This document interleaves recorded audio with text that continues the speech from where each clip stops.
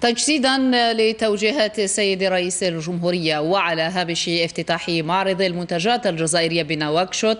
استقبل أمس وزير التجارة وترقية الصادرات كمال رزيق من قبل الرئيس الموريتاني محمد ولد الشيخ الغزواني.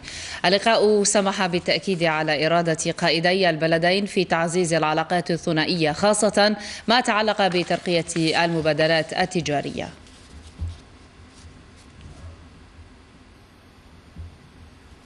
اغتنمنا هذه الفرصة السانحة والفرصة الكريمة لتقديم لفخامة الرئيس.